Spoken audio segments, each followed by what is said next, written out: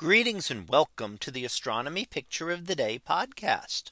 Today's picture for January 5th of 2025 is titled Rocket Launch as seen from the International Space Station. So what do we see here? Well, here we see a video clip that's going to run about a minute and a half and it's showing a rocket launch from the perspective of up above. So let's go ahead and play the video and watch it and you'll see the arrow coming in down in the corner showing the location of the launch and you can see the craft beginning to move upward above Earth. And you can tell it's the one that's moving there and it's coming up against the face of the earth and then through the atmosphere layers until it actually crosses out into space. Now it continues to rise up there. And if you watch, you'll see a big burst there. That is actually the separation of the rocket stage.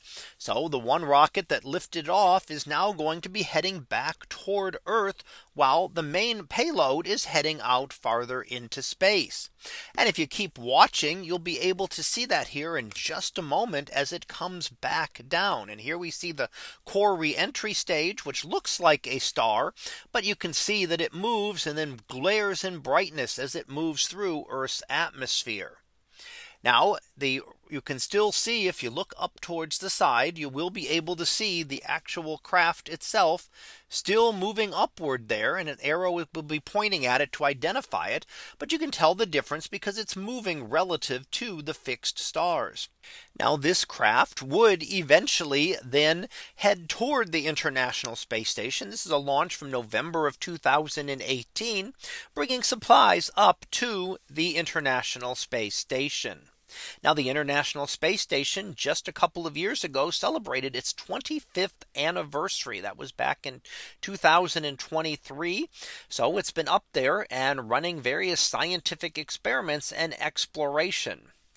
Now as the video progresses again, again, you can watch there as that launch heads up into space as seen here from the International Space Station. So you get that kind of different perspective. We've seen rocket launches from Earth. Now we're seeing the rocket launch from above as it moves outward into space.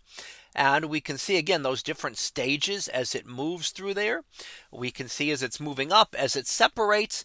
And then as one stage heads back down uh, to burn up in Earth's atmosphere, while uh, while the other then heads out into space and eventually into an orbit that will bring it to the International Space Station, bringing those supplies that were needed by the astronauts manning that.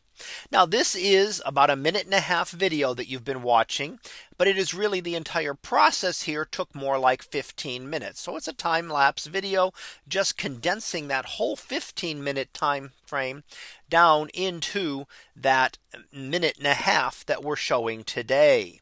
Now, of course, as you look at Earth, you can also see all of the city lights down below, especially the latter portion.